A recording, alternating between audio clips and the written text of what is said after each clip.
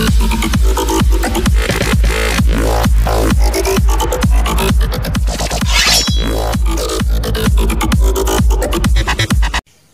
Friends എന്റെ പേര് ശ്രീഹരി എവർക്കും ജി ടു ടെക് മലയാളം ചാനലിലേക്ക് സ്വാഗതം.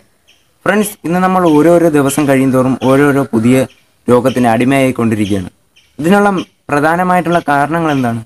നമ്മുടെ വ്യായാമക്കുറവ് അല്ലെങ്കിൽ നമ്മൾ കഴിക്കുന്ന ഒരു ആഹാരത്തിന്റെ പ്രോബ്ലമായിരിക്കും. അപ്പോൾ ഫ്രണ്ട്സ് നമുക്ക് വിഷയത്തിലേക്ക് കിടക്കാം.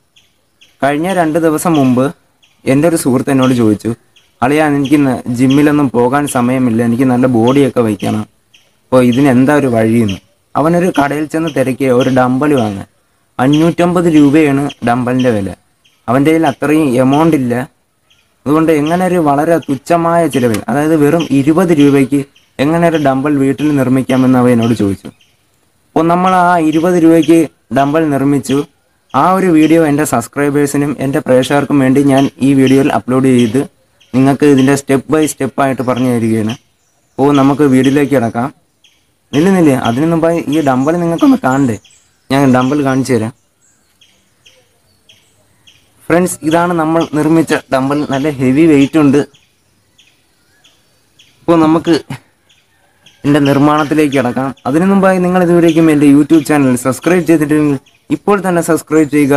തൊട്ടടുത്ത് കാണുന്ന ബെല്ലൈക്കണിൽ ക്ലിക്ക് ചെയ്യുക. ഞാൻ അപ്ലോഡ് ചെയ്യുന്ന വീഡിയോസിന്റെ ലേറ്റസ്റ്റ് നോട്ടിഫിക്കേഷൻ ലഭിക്കുന്നത് അപ്പോൾ ഫ്രണ്ട്സ് നമുക്ക് വീഡിയോയിലേക്ക് കിടക്കാം. ലെറ്റ്സ് ഗോ അപ്പോൾ ഫ്രണ്ട്സ് ഞാനിവിടെ ഒരു ബക്കറ്റിന്റെ ഹാഫ് ഭാഗം മുറിച്ചൊരു പീസാണ് ഇവിടെ എടുത്തിരിക്കുന്നത്. നിങ്ങൾക്കല്ലെങ്കിൽ പെയിന്റിന്റെ ഡെപ്പ വേണമെങ്കിലും ഉപയോഗിക്കാം.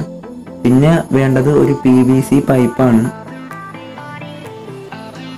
പിന്നെ നമുക്ക് ആവശ്യമായിട്ടുള്ള രണ്ട് നീളത്തിലുള്ള ഒരു ആണി വേണം. പിന്നെ ഒരു പെൻസിൽ ഇപ്പോൾ ഫ്രണ്ട്സ് ഈ പൈപ്പ് ഇതുപോലെ പാത്രത്തിനകത്തേക്ക് ഇറക്കി വെച്ചിട്ട് ആ പാത്രത്തിന്റെ അളവിലേക്ക് മാർക്ക് ചെയ്യുക. രണ്ട് സൈഡും ഇതുപോലെ മാർക്ക് ചെയ്യുക. തുടർന്ന് മാർക്ക് മാർക്ക് ചെയ്ത ഭാഗത്തിന്റെ ഹാഫ് പോർഷൻ ഹാഫിൽ നിങ്ങൾ ഇതുപോലെ പെൻസിലിനെ മാർക്ക് ചെയ്യണം എന്നിട്ട് ഈ രണ്ടാണ് ഇതിന്റെ അകത്തേക്ക് നമുക്ക് തുളച്ച് കയറ്റി അപ്പുറത്തെടുക്കണം. അതിനായി നിങ്ങൾക്ക് ഇവിടെ ഞാനിവിടെ ലൈറ്ററാണ് ഉപയോഗിക്കുന്നത്. നിങ്ങൾക്ക് വേണമെങ്കിൽ മണ്ണെണ്ണ വിളക്കും ഉപയോഗിക്കാം. ആണി നന്നായിട്ട് ചൂടാക്കി. അപ്പോൾ ഫ്രണ്ട്സ് ഞാനിവിടെ രണ്ടാണിയും പൈപ്പിന്റെ അകത്ത് ഉരുക്കി കയറ്റിയിട്ടുണ്ട്. കയറ്റി ഇപ്പുറ ഭാഗം എടുത്തിട്ടുണ്ട്. ഇതുപോലെ നിങ്ങളും ചെയ്യുക. അപ്പോൾ ഫ്രണ്ട്സ് ഞാനിവിടെ ഒരു പഴയ ചാക്കിൽ രണ്ട് കപ്പ് മണലും ഒരു കപ്പ് സിമന്റും ചേർത്ത് വച്ചിരിക്കുകയാണ്. പിന്നെ കുറച്ച് വെള്ളവും. നമ്മൾ വെള്ളം ആവശ്യാനുസരണത്തിന് ഈ സിമന്റിന്റെ മിശ്രിതത്തിൽ ചേർക്കണം. എന്നിട്ട് നന്നായി കുഴയ്ക്കണം. ഫ്രണ്ട്സ് ഞാനിവിടെ സിമന്റ് കുഴച്ച് കഴിഞ്ഞു നമുക്ക് ആ പ്ലാസ്റ്റിക് പാത്രം എടുക്കാം.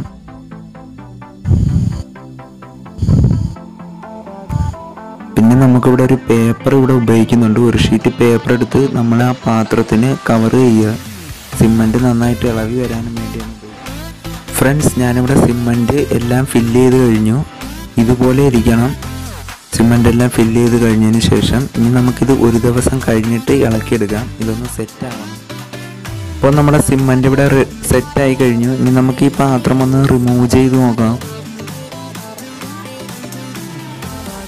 നമ്മളിവിടെ പേപ്പർ ന്യൂസ് പേപ്പർ ഉപയോഗിച്ചുകൊണ്ട് പാത്രം വളരെ എളുപ്പത്തിൽ തന്നെ ഇതുപോലെ ഇളകി വരും. നമുക്ക് ഓരോ പേപ്പർ കഷ്ണങ്ങൾ ഇളക്കി മാറ്റാം.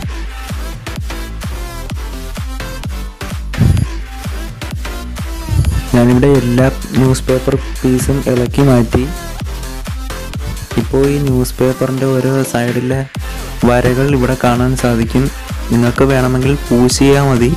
ഈ വരകൾ മാറി ഇനി നമുക്ക് അടുത്ത സൈഡ് നിർമ്മിക്കാം. ഇപ്പോൾ ഫ്രണ്ട്സ് നമുക്ക് രണ്ടാമത്തെ ഡമ്പലിന്റെ ഒരു ഭാഗം നിർമ്മിക്കാം. ഞാൻ പഴയ പോലെ തന്നെ പാത്രത്തിനകത്ത് പേപ്പർ ഇതുപോലെ തിരികെ വെച്ചു. ഫ്രണ്ട്സ് ഇപ്പോൾ കണ്ടോ? നമ്മൾ ആദ്യം നിർമ്മിച്ച ആ ഡമ്പലിന്റെ ഒരു പീസാണിത്. ഞാൻ എന്റെ സൈഡെല്ലാം പൂശി.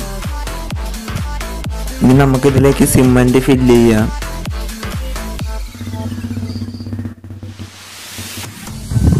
ഫ്രണ്ട്സ് ഇതുപോലെ സിമന്റ് ഇതിന്റെ അകത്ത് നിറച്ചും ഫില്ല് ചെയ്യുക.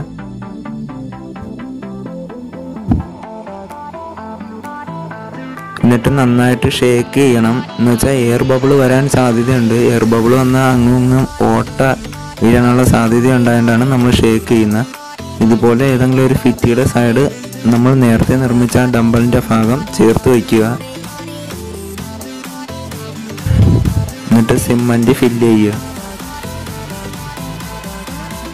ഞാനിവിടെ എല്ലാ സിമന്റും ഫില്ല് ചെയ്ത് കഴിഞ്ഞു. സിമന്റ് ഫില്ല് ചെയ്ത് കഴിഞ്ഞപ്പോൾ സൈഡ് ഭാഗത്ത് ചെറിയ വളവ് വന്നു. ആ വളവ് നികത്താൻ വേണ്ടിയാണ് രണ്ട് കല്ല് രണ്ട് സൈഡിലായിട്ട് വെച്ചിരിക്കുന്നത്. ഇപ്പം നല്ല കറക്റ്റ് ഷേപ്പിന് തന്നെ കിട്ടും. ഏകദേശം ഒരു ദിവസം കഴിഞ്ഞതിന് ശേഷം ഇത് നമുക്ക് ഇളക്കിയെടുക്കാം. അപ്പോൾ ഫ്രണ്ട്സ് ഈ ഡമ്പൽ എങ്ങനെയാണ് നിർമ്മിക്കുന്ന വീഡിയോ നിങ്ങൾക്ക് മനസ്സിലായെന്ന് ഞാൻ വിശ്വസിക്കുന്നു. ഈ വീഡിയോ ഇഷ്ടമായെങ്കിൽ മറക്കാതെ ലൈക്ക് ചെയ്യുക. തുടർന്നും ഇതുപോലെ ക്രിയേറ്റീവായ അഡീസുമായി ഞാൻ നിങ്ങളുടെ മുമ്പിലെത്തും. മറക്കാതെ നമ്മുടെ YouTube ചാനലായ G two tech Malayalam subscribe ചെയ്യുക. Thanks for watching my video